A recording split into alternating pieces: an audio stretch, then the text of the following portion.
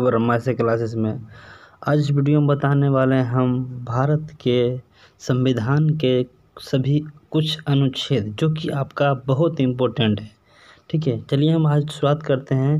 अगर देखा जाए कि हमारे संविधान में अगर पूछा जाए कि कुल कितने अनुच्छेद थे तो मूल संविधान जो हमारा बनाया गया था तो अनुच्छेद की संख्या तो हमारा था तीन सौ पचपन था, लेकिन वर्तमान में साढ़े चार सौ से अधिक अनुच्छेद हैं।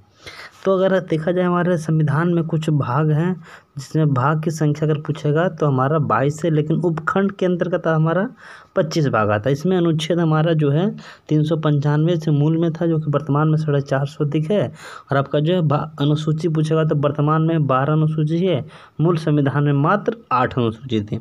तो आज हमारा पहला अनुच्छेद के बाद हम करते हैं कि पहला अनुच्छेद हमारा क्या बताता है।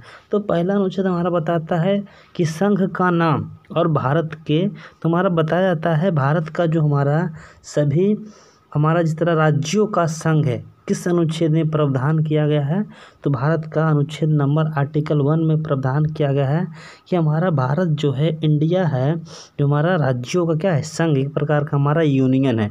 तो हमारा इस तरह तो पहला अनुच्छेद क्या बताता है, भारत राज्यों का संघ है। दूसरा जो हमारा नाम आया कि बहुत इंपॉर्टेंट है कि अगर आपसे पूछेगा कि दूसरा अनुच्छेद जो हमारा है, नए राज्यों का, आप लोग सुनते होंगे कि दोस्तों कि भारत में आज आंध्र प्रदेश से तोड़कर तेलंगाना बना दिया जाता है, बिहार से तोड़कर झारखंड बना दिया जाता है उत्तर प्रदेश से तोड़कर उत्तराखंड बना दिया जाता आखिर ये बनाता कौन है? तो हमारा ये दोस्तों, इस संविधान के अनुच्छेद दो में इसका वर्णन किया गया है कि नए राज्य का प्रवेश या स्थापना कर सकता है। तो इसमें आपको पता हो कि नए राज्य का स्थापना हमारा भारत का पवित्र अंग जिसे हमारा जो है संसद का जो हमारा अभिन्न अंग माना जाता है, राष्ट्रपति, इधर आपका लोकसभा, इधर आपका राज्यसभा।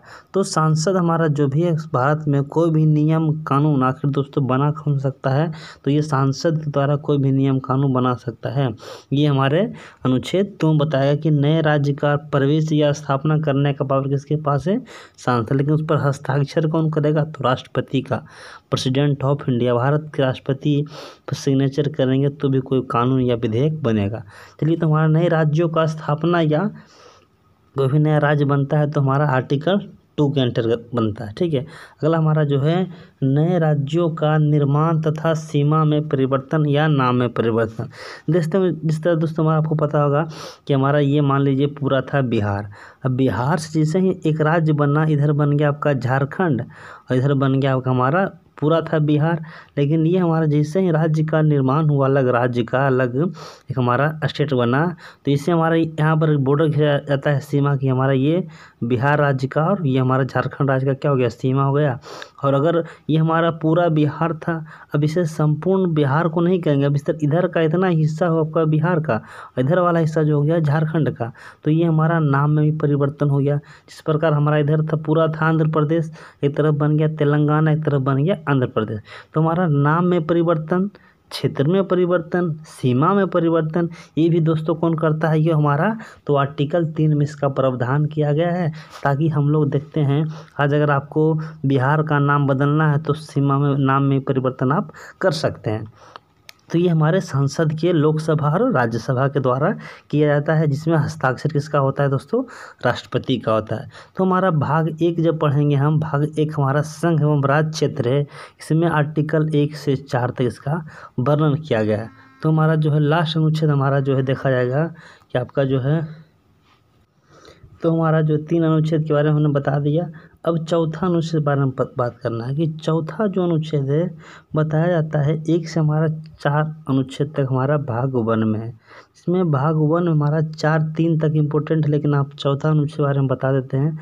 पहली अनुसूचित व चौथी अनुसूचित के संसद संशोधन दो या तीन के अधीन बनाई गई विधियों। यहाँ पर बताया गया है, पहली अनुसूचित तथा चौथी अनुसूची जब पढ़ेंगे हम लोग तो उसमें आपका जो है कि संशोधन में दो या तीन के अधीन बनानी, बनाई गई विधियों का वर्णन किया गया अब जैसे ही हमारा अनुच्छेद चार खत्म होता है दोस्तों तो अनुच्छेद आता है पाँच से ग्यारह। देखेंगे, पाँच से ग्यारह जो हमारा जिससे ही भाग आ जाता है टू तो भाग एक में था संघ एवं राज्य क्षेत्र। जिससे ही भाग दो आता है तो भाग दो हमारा क्या है? नागरिकता। याद रखेंगे, सिटीजनशिप। नागरिकता का प्रावधान किस भाग में किया गया है? नागरिकता का प्रावधान भाग दो में किया गया है। तो हमारा जो है भाग दो में, ये हमारा आपको पता होगा, भारत में कैसी नागरिकता है? तो नागरिकता पर बात किया जाए कि हमारा जो नागरिकता से पूछेगा किस, कहाँ से कहाँ तक वर्णन है तो पाँच से ग्यारह तक। अब पूछेगा, भारत में एकल नागरिकता है या दूसरी नागरिकता? तो भारत में दोस्तों एकल नागरिकता है। यहाँ एकल नागरिकता का अर्थ हुआ कि आप कोई भी काम कीजिए, कर्तव्यनिष्ठ रहिए तो सिर्फ़ एक देश के लिए। इस तरह अगर पूछेगा दोहरी नागरिकता वाला देश कौन है तो अमेरिका है। तेहरी नागरिकता वाला देश कौन है? तो आपका स्विट्ज़रलैंड है, ठीक है? तो तेहरी नागरिकता वहाँ पर मान लीजिए आप अमेरिका के भी नागरिक रह सकते हैं, स्विट्ज़रलैंड का भी रह सकते हैं, भारत का भी रह सकते हैं। लेकिन भारत में ऐसा नहीं है। भारत में अगर है तो कर्तव्यनिष्ठ रहना है तो भारत के लिए रहिए, या तो आपको पाकिस्तान के रहना है तो पाकिस्तान के लिए रहिए, ठीक है? क्योंकि हमारा कुछ दिन पहले हमारा जब तीन सौ सत्तर धारा समाप्त किया गया जम्मू कश्मीर में तो जम्मू कश्मीर में अपवाद में था कि वहाँ दोहरी नागरिकता वाला जगह था ठीक है? तो आपको अगर रहना है तो कर्तव्य सिर्फ़ भारत के लिए रहिए, दूसरे देश के लिए नहीं। आपको हमारा नागरिकता संबंधित एक संशोधन बनाया गया था उन्नीस सौ पचपन, नागरिकता संविधान अधिनियम। नागरिकता अधिनियम कब बनाया गया था उन्नीस सौ पचपन में? एक हमारा माता पिता के आधार पर नागरिकता, माता के आधार पर मिलता है उन्नीस सौ बानवे में, याद रखेंगे। भारत में हमारा जो है माता के आधार पर नागरिकता बनाने का अधिनियम कब बनाया गया? उन्नीस सौ बानवे में, माता के आधार पर। पहले था हमारा पिता के आधार पर। ये तो उन्नीस सौ पचपन में बनाया गया था, ठीक है? तो भारत में संविधान के संविधान के प्रारंभ पर नागरिकता का अनुच्छेद कहाँ किसमें है? पाँच में अब भारत आने वाले व्यक्तियों को नागरिकता, अगर कोई व्यक्ति भारत आता है और ये दस बार कंटिन्यू दस साल तक कंटिन्यू रहता है तो उसे नागरिकता कहाँ का मिल जाएगा? भारत का। ठीक है तो याद रखेंगे तो पहले ये पाँच वर्ष था, अब आपका दस वर्ष कर दिया गया। दस वर्ष आप कंटिन्यू अगर आप रहते हैं भारत में तो उसे नागरिकता प्राप्त कर दिया जाएगा। अब हमारा जो है, पाकिस्तान जाने वालों को नागरिकता। आपको पता होगा कि भारत से अगर कोई व्यक्ति बिना सूचना का सात वर्षों तक बाहर रहता है तो उसकी नागरिकता समाप्त कर दी जाती है। बिना भारत में आप बिना सूचना का, आप कहीं अगर कंटिन्यू अगर सात सात साल तक रह गए तो आपकी नागरिकता समाप्त कर दी जाएगी। आपको भारत सरकार के द्वारा या बिहार राज्य सरकार द्वारा या किसी राज्य के द्वारा आपको जाना भी नहीं जाएगा कि आप भारत के नागरिक हैं या किसी। आपको देखिए तो नागरिकता समाप्त कब की जा सकती है? जब आप देश से गद्दारी करेंगे या राष्ट्रद्रोह या देशद्रोह अगर आपसे किसी प्रकार का लग गया तो उससे आपको नागरिकता समाप्त कर दी जा सकती है। या आपको जो है सात वर्ष कंटिन्यू बिना सूचना देकर आप भारत से बाहर आप रहते हैं तो आपकी नागरिकता समाप्त कर दी जाएगी।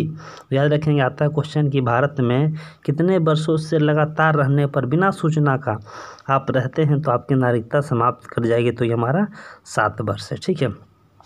तो अगला हमारा क्वेश्चन है कि भारत के बाहर आने वाले व्यक्तियों को, भारत से आपको पता है कि जैसे अगर आप लोग गए कहीं बाहर घूमने के लिए, आपकी विदेश से अगर आपने शादी कर ली, विदेशी से कोई शादी कर लिया फॉरन मिनिस्टर अगर आप विदेश गए तो वहाँ से आपको नागरिकता, अगर वहाँ का आप भारत आते हैं तो आपको जो है आपके अनुसार उसकी जो है नागरिकता क्या मिल जाएगी उसको?